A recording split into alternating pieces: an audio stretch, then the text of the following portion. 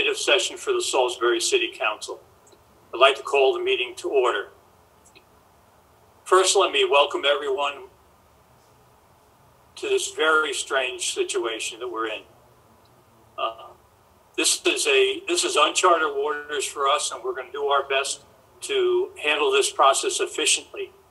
Uh, all of the council members are present on the phone, and uh, at this moment, I would like everyone to take a moment for silent meditation, please.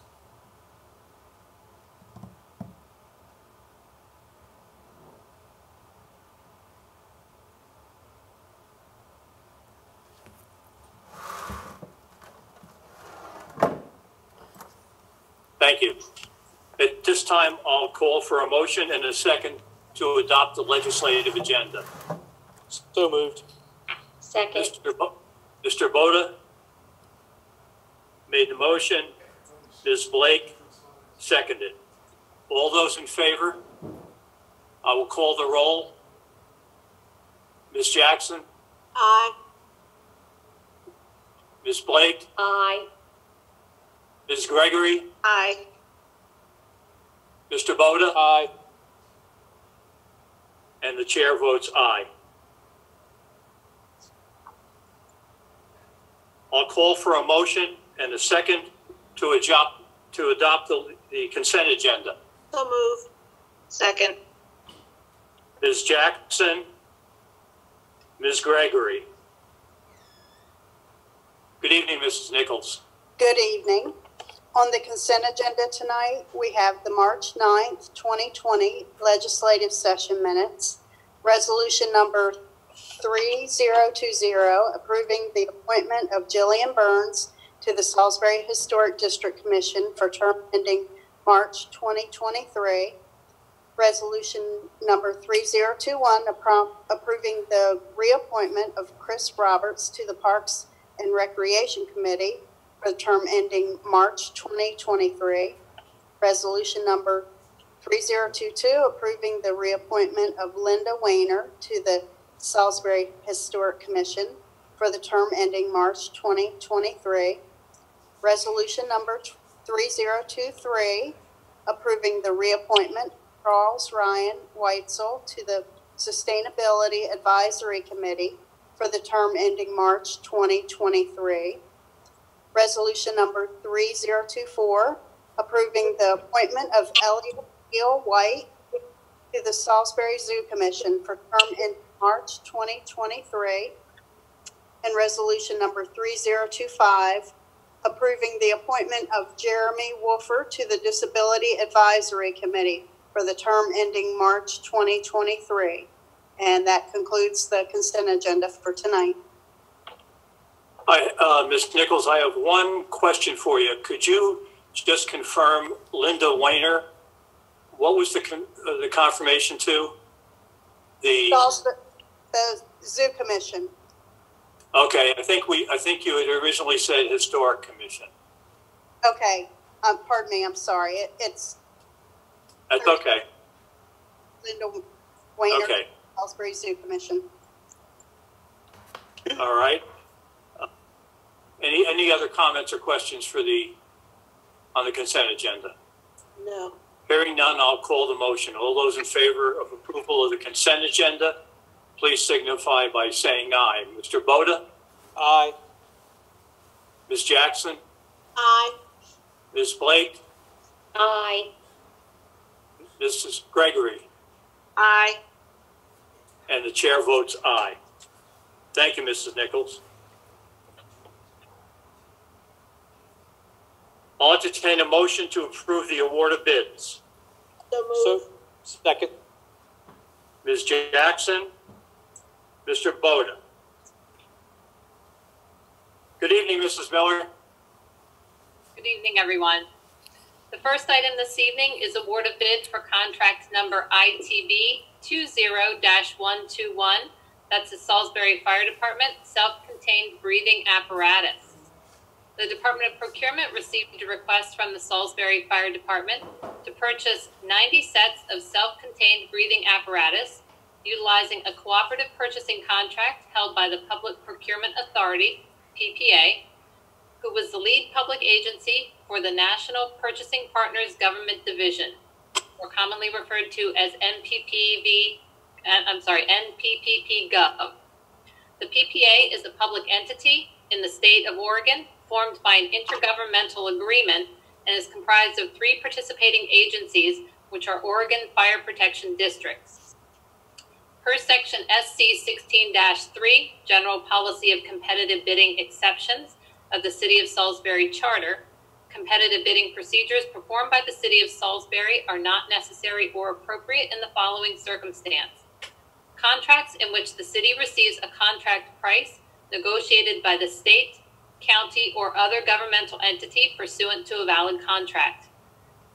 This charter designation therefore allows the City of Salisbury to participate in competitive solicitations issued and awarded by other governmental entities such as the PPA.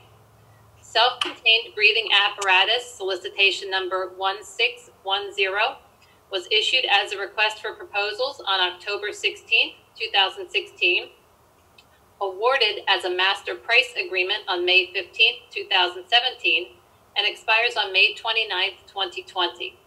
This awarded contract was then made available for use by all members of PPA and NPP, NPP Gov through an inter, my goodness, intergovernmental cooperative purchasing agreement.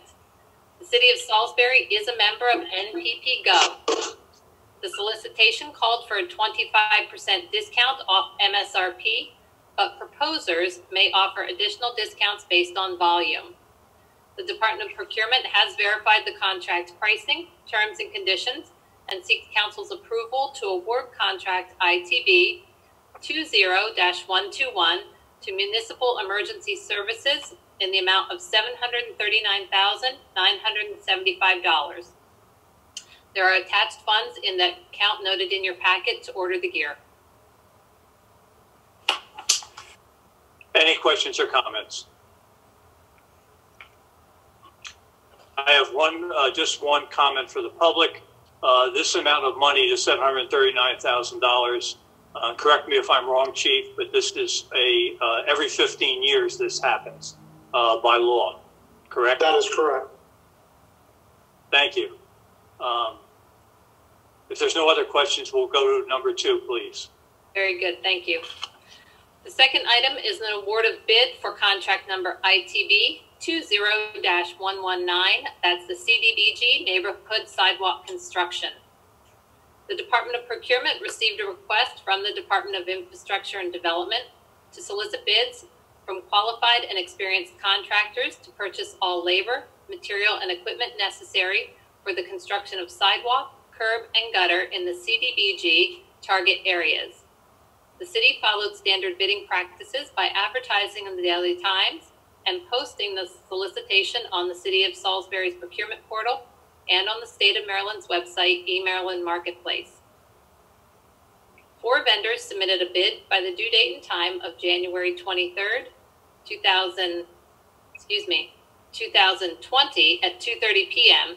with Barker's Landing Excavation submitting the lowest responsible and responsive bid.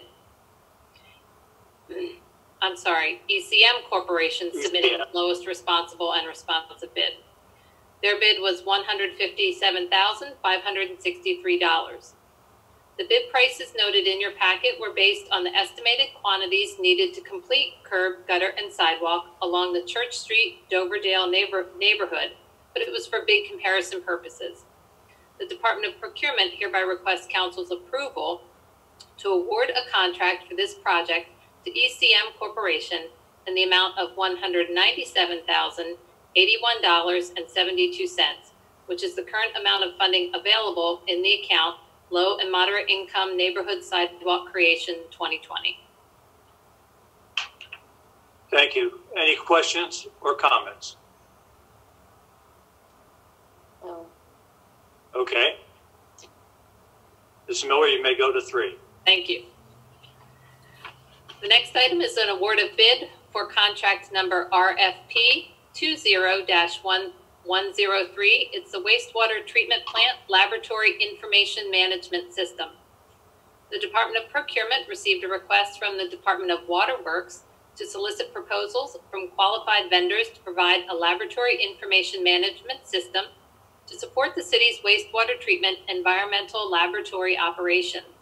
Key features of this system would include workflow and data tracking support, mobile capability, and integration with instruments and external systems.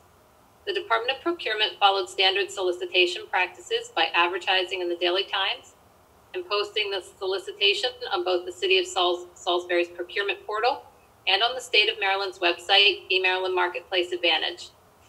Five vendors replied by the due date and time of December 10th, 2020 at 2:30 p.m.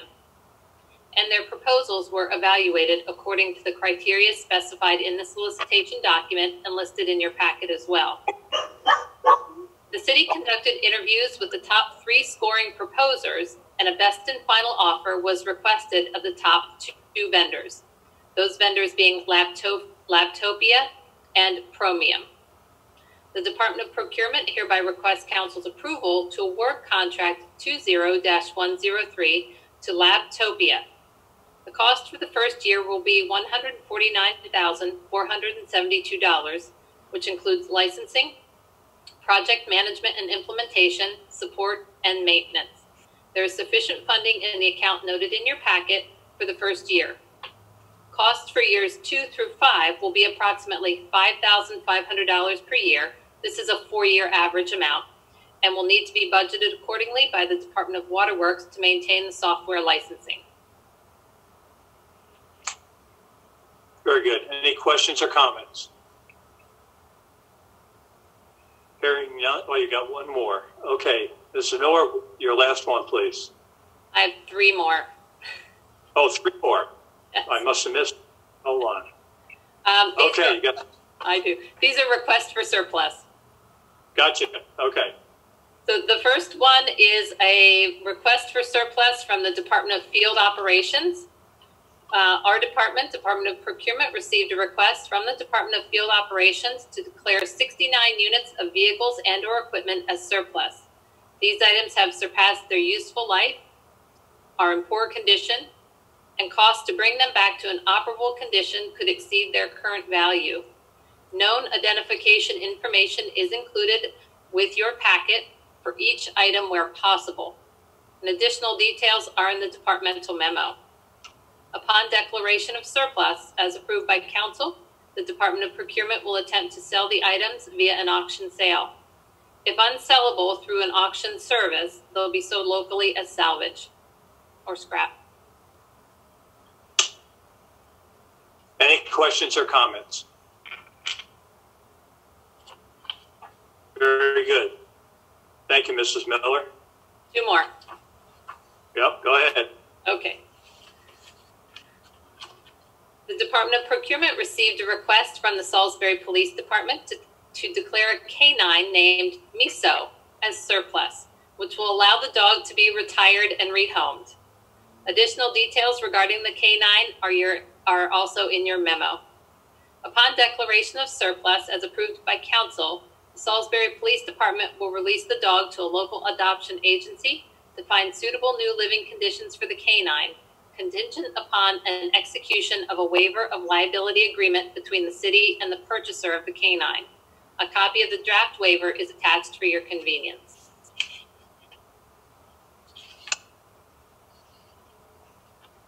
Any questions or comments? I do have one. Uh, Miso's been with us and uh, served faithfully. Um, I don't like to use the word that he's being surplus. I think we need to find him a home really, really quickly. Um, but I understand that this is strictly a legal thing. So, um, okay. Any other questions or comments? Okay, last one. Last one. The Department of Procurement received a request from the Salisbury Fire Department to declare a self-contained breathing apparatus fill station as surplus.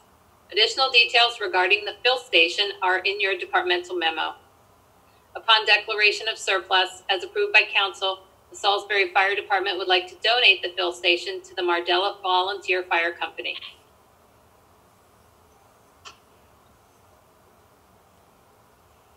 Any questions or comments?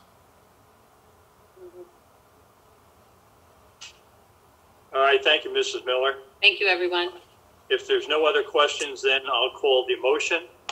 All those in favor of the award of bids, please signify by saying aye. Mr. Boda, Aye. Ms. Jackson, Aye. Ms. Blake, Aye. Ms. Gregory, Aye. the chair votes aye. Thank you very much. We have six, six vote. Jack, my Jack seems to think he gets a vote as well. Okay. I'll entertain a motion to approve resolution number 3026. So moved. Second. Who was the original? April, was it you? April. April made the motion. Ms. Blake seconded. Ms. Glanz. Good evening, everyone. Resolution number 3026, a resolution of the City of Salisbury, Maryland, for the purpose of approving the Fourth Amendment disposition contract for the sale of property known as parking lot number 16 and the Salisbury Green. Approving the sales contract between Davis Simpson Holding LLC and R. Miller Properties LLC for the sale of the Salisbury Green to consolidate the two lots and to adjust the deadlines for the redevelopment of the lots. Whereas the mayor and city council previously approved the surplus sale and redevelopment of city parking lot 16 and the Salisbury Green in resolutions 2848 and 2849. And whereas the city parking lot number 16 was sold to Davis Simpson's Holding Holdings LLC and a disposition contract was executed on June 26, 2018. And whereas the Third Amendment to the disposition contract signed in June 2019, assigning the buyer's interest to BKR Holdings LLC, and BKR Holdings LLC is now known as Davis Strategic Development LLC. And whereas the Salisbury Green was sold to R. Miller Properties LLC, and a disposition contract was executed on August 7th, 2018. And whereas the deeds and disposition contracts for both properties require the, the property to be developed as described in the individual disposition contracts, or the properties would revert to city ownership. And whereas the city has determined that it is in the best interest of the citizens of the city to approve the sale of the Salisbury Green by R. Miller Properties LLC to the owner of Lot 16, Davis Strategic Development LLC. And whereas the sale of the property requires an amendment to the disposition contract to be agreed upon and executed between Davis Strategic Development LLC and the city of Salisbury for the redevelopment of Lot 16 and the Salisbury Green with terms acceptable to the city on or before April 15th, 2020, as finally approved by the city solicitor. Thank you, Mrs. Glanz. Any questions or comments?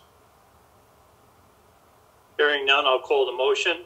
All those in favor to approve resolution number 3026, please signify by saying aye. Mr. Boda, Aye. Ms. Jackson, Aye. Ms. Blake, Aye. Mrs. Gregory, Aye. and the chair votes aye. Thank you, Mrs. Glanz. I'll entertain a motion to approve ordinance number 2586. So moved. Angela, I'll give that one to you. Ms. Okay. Blake- Ms. Blake made the motion and Ms. Jackson made the second. Second, yeah. Ms. Jackson. Mr. Tillman, good evening. Good evening. Uh, This is uh, ordinance number 2586. It's an ordinance of the city of Salisbury approving an amendment of the city's capital project fund budget to provide additional funding for a bathroom addition project. Whereas ordinance 2539 fiscal year 20 budget authorized the transfer of $51,000 from the general fund as pay-go to the general capital project fund to provide funds for a bathroom addition project at the Paleo Water Treatment Plant. And whereas the Water Works Department has estimated that an additional $9,872 is needed to complete the project, and whereas the Finance Department has determined that $9,872 is available in an unallocated interest earned on funds in the same pool of capital projects, and whereas appropriations necessary for the additional funds for the bathroom project must be made upon the recommendation of the mayor and approval of four-fifths of the council of the city of Salisbury. Now therefore be it ordained by the city council of the city of Salisbury, Maryland, that the city's capital projects fund budget be and is hereby amended as follows.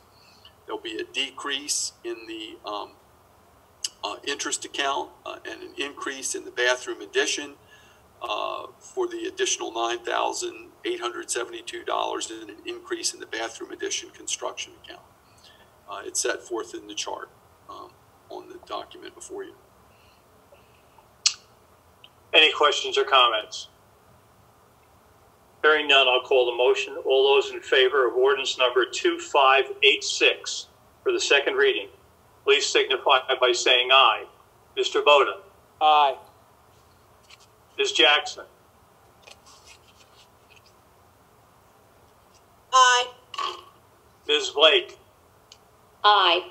Mrs. Gregory, Aye. and the chair votes aye. Thank you, Mr. Tillman. Thank you. Before I forget, I um, failed to recognize the following people who have volunteered to be on commissions in, in the city. Uh, Jillian Burns, Chris Roberts, Linda Weiner, Charles Ryan Wetzel, Elliot Neal White, and Jeremiah, Jeremy Wolfer. Thank you all to each and every one of you for volunteering your service. It's very much appreciated.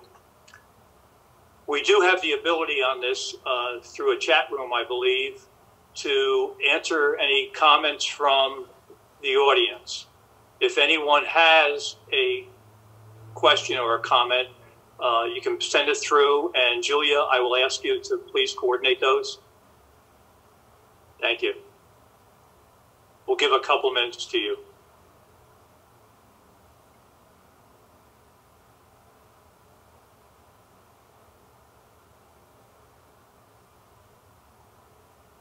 None come through, uh, remarks for the good of the order? Anyone? Mr. President, Yes, Mr. Mayor. Glad to have you. hey, glad to be here. Um, uh, I want to I want to just take a second um, to uh, thank the council for doing what you're doing.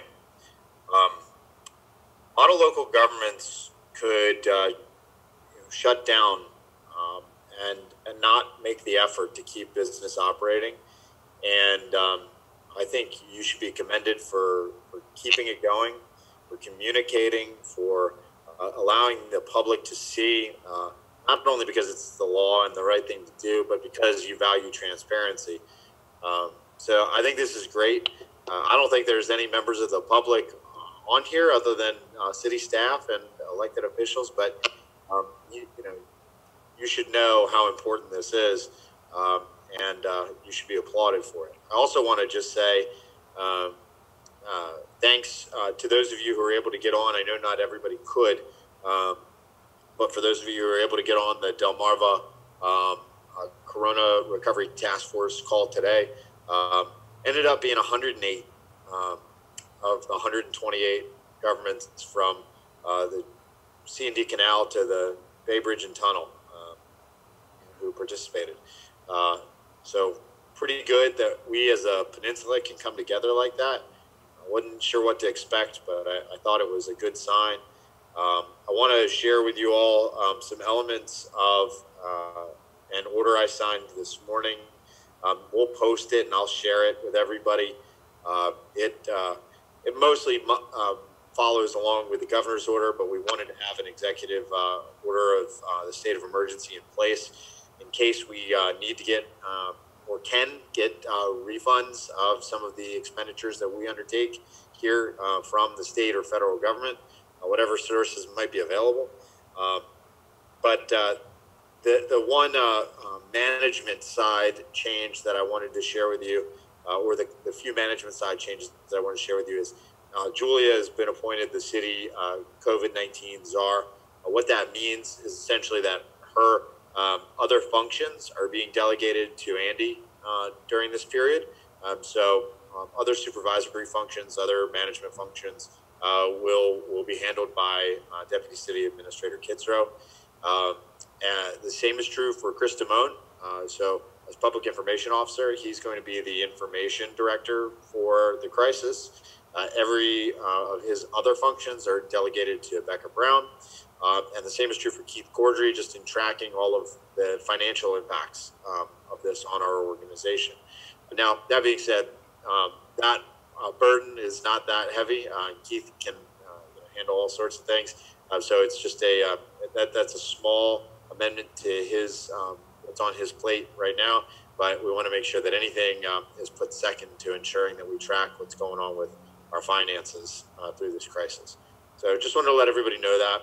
Um, and uh, uh, if you get any questions about, um, you know, what's closed, what's open, and how we're enforcing that, um, feel free to forward to me. Um, as, you know, under uh, 908-220 of the city code, uh, violations of the order uh, will be treated as misdemeanors.